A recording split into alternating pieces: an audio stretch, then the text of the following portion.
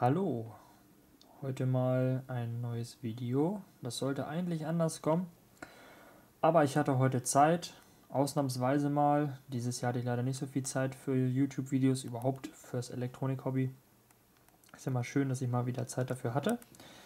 Und zwar habe ich eine Philips, wie man, na, eine Philips Master CDMT 70 Watt bei mir mal rausgekramt. Die ist neu hat 3000 Kelvin Farbtemperatur, sprich warmweiß.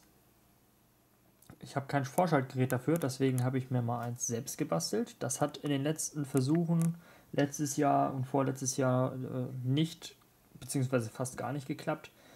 Jetzt hat es geklappt und das wollte ich euch gerne mal demonstrieren. Zünden wir die mal.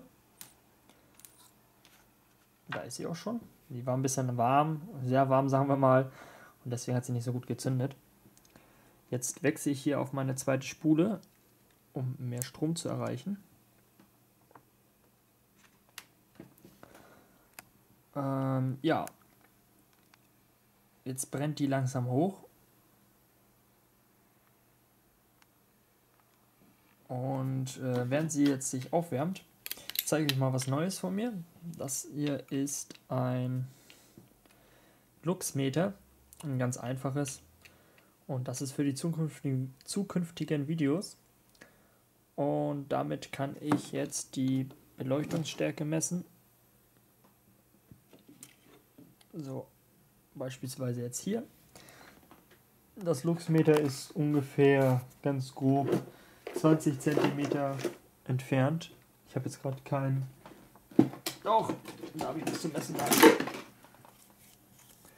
Also ja, 20 cm haben wir. Und wir messen schon 8000 Lux. Ja, da haben wir es. 860 mal 10, 870. Da sieht man, wie dann die Helligkeit ansteigt, wenn die Temperatur in dem Brenner ansteigt und die ganzen Metalle und Gase ihre Betriebstemperatur erreichen. Also genau das Gegenteil wie bei LEDs. LEDs werden ja wieder dunkler, wenn sie warm werden. Und diese Entladungslampen, Gasentladungslampen werden halt heller. Deswegen kann man die auch nicht dimmen. Weil wenn du sie dimmst und die äh, Temperatur sinkt, verändert sich halt die Farbe, die Farbwiedergabe wird schlechter, beziehungsweise dimmen kann man vielleicht 30% oder so und wenn man darüber geht, reicht die Temperatur nicht mehr aus und das Ganze bricht zusammen und sie wird mega dunkel. Ja. Das Ganze ist jetzt natürlich richtig schön hell. So auf 1 Meter haben wir ungefähr 2000 Lux, also das ist schon ordentlich. Dieses blaue Leuchten, das würde ich gerne mal von euch wissen was ihr der Meinung seid, wo das herkommt. Ich weiß es nicht. Weil ob das Glas irgendwie die Strahlung umsetzt in Blau oder so, weil viel Blau dürfte eigentlich nicht drin sein bei warmweiß. Auf jeden Fall sieht man das in echt auch, wenn man die Augen zusammenkneift. Ja. Äh, was es für zukünftige Videos? Und zwar sind geplant Reviews. Dafür ist auch das Luxmeter. Und zwar Re Reviews für äh, oder von Taschenlampen. Da möchte ich dann auch dann die Leuchtstärke messen. Und ja, da sind wir schon bei fast 1200. 1200, ja, mal 10. Also 12.000 Lux. Ähm, ja, dann werde ich Reviews machen. Die werden auch definitiv kommen, weil ich schon äh, die Lampen dafür hier habe. Und das sollte jetzt das Einleitungsvideo sein. Und was viele von euch so richtig schön finden, äh, ist halt, wenn die abgeschaltet werden. Und das machen wir jetzt mal. Jetzt versucht mal die Kamera ruhig zu halten. Zoomen wir mal ein bisschen ran und dann schalte ich jetzt mal die Leuchte ab. Leider flackert die so. Vielleicht kann mir jemand dabei helfen und sagen, warum die so flackert. Oder warum nicht, äh, eher mal sagen, warum äh, oder wie ich das wegkriegen könnte. Vielleicht liegt es an meinem Trafo.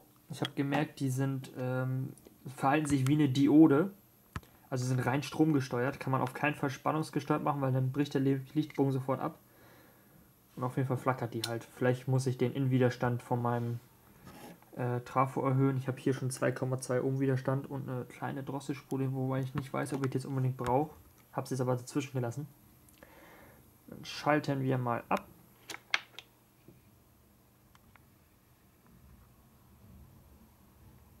Ja, wir haben ein schön weiches Nachglühen. Auf der Kamera etwas heller als in der Realität. Liegt, denke ich mal, an der starken äh, Infrarotstrahlung von der Lampe.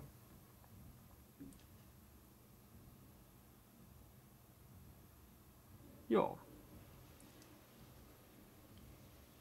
Ich hoffe, das Video hat euch gefallen. Das war jetzt ganz spontan gedreht, ist nichts geschnitten. Das werde ich jetzt so hochladen. Ja, meine normale Beleuchtung hat ungefähr 50 Lux, wenn ich es nach oben richte. Ist also nicht viel. Oder ja, 70 sogar, wenn ich es direkt aufs Licht. Aber so von oben ist, ja, ist nicht viel. Im Gegensatz zu 12.000 von dieser Lampe, beziehungsweise auf einem Meter sind es dann 2000.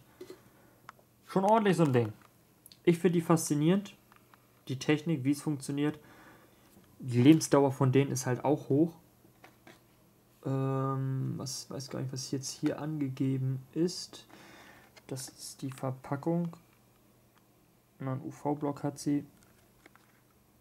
Ich bin der Meinung, 10, 12.000, äh, 10 bis 15.000 Betriebsstunden haben die Teile. Bei einem Helligkeitsverlust, glaube ich, von 30%. Ach, hier steht sogar CLI größer als 80. Ja, ist äh, auf jeden Fall die einzige Alternative zur LED. Ich bin mal gespannt, ob die LED-Scheinwerfer. Ja, ich werde werd ich schwer mitkriegen, aber die ganzen Geschäfte stellen jetzt auf LEDs um. Und ja, ich weiß nicht, ob die so lange halten. Vor allem muss man da gleich den ganzen Scheinwerfer wegschmeißen. Ne? Na gut. Wird sich zeigen. Ich bin von den Dingern begeistert. LEDs sind natürlich äh, auch geil und ich finde LEDs vor allem in Taschenlampen gut. Und dann könnt ihr euch, wie gesagt, auf die neuen Reviews freuen. Und ja, bis demnächst. Ne?